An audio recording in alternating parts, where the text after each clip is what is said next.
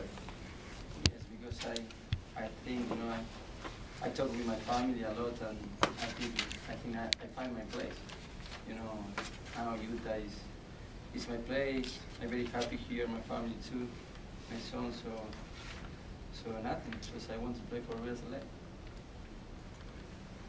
You, you had a number of teammates that were with you for several years who are no, no longer gonna be here. What's that like for you as a player? Yes, it's, it's a little tough because we have a, a relationship, you know, outside the locker room. But I know that that can happen because this is soccer, you know, and today you you be here and maybe next day you, you have to do somewhere else. So uh, nothing, just the best of luck for, for them and we have to, to keep doing our work here. Robbie Findley's back. What's it gonna be like for you to play with him?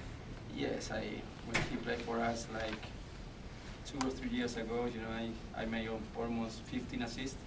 So I'm very happy that he's, he's back. Does, does having Robbie back open things up a little bit more for you as a midfielder? yeah, yes, of course, because he he's fast, you know, and, and he's, he's very tough for, for defenders. So I hope that that will work like always. Javi, you've got a lot of young midfielders. How are you going to play that little bit of a mentor role to help them develop and become better players as well?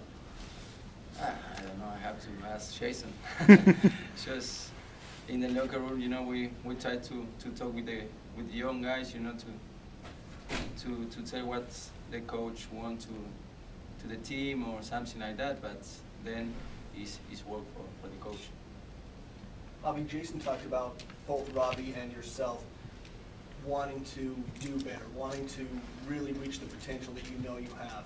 What, what's your goal personally? Just what for you says, this is what I should be able to do this season?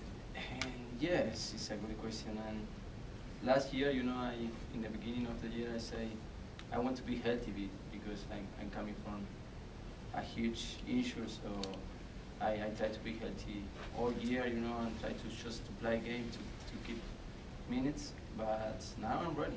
I'm ready. So after that year, I'm, I'm ready. I'm healthy. So so I hope uh, I can be the, the same player as before the, the injury. Last year, I mean, were you, did you feel at full fitness at any point last year, or?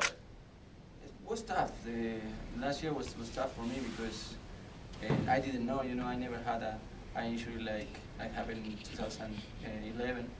So I say, okay. After six months, I I was playing. So I say, okay, I'm ready. But it's not that easy. You know, you have to to work a lot. Your body.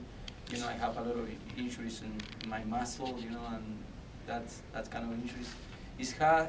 It's hard because you can you can train every day, you can play every game, so, but now it's going to be different.